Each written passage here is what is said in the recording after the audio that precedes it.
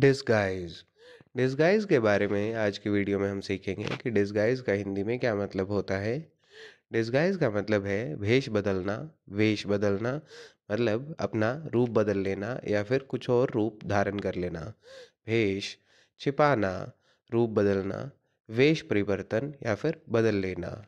एक बार इन सेंटेंसेस की मदद से इसे और अच्छे से समझ लेते हैं।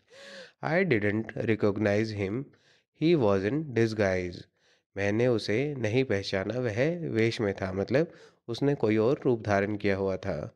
She made no attempt to disguise her surprise उसने अपने आश्चर्य को छिपाने का कोई प्रयास नहीं किया।